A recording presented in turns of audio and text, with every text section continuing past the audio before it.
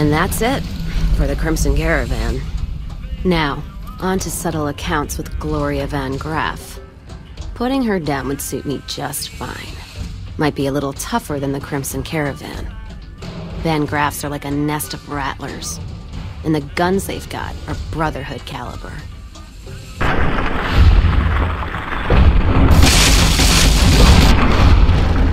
Just trim the Van Graff family tree. I think Freeside'll breathe a little easier now. Payback's a bitch, ladies. And between Gloria and Alice, that settles accounts as far as I'm concerned. Hope they're in hell right now, blinking, trying to figure out where they fucked up.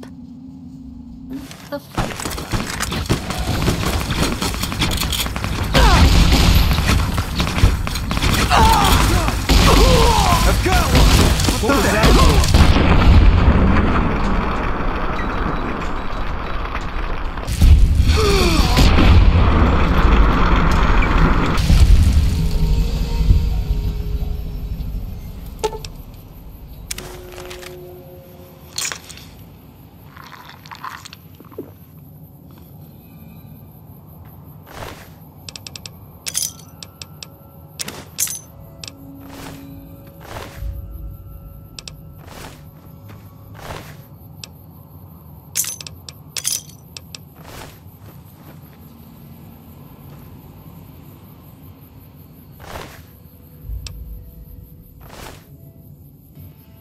So glad you iced that little fucker.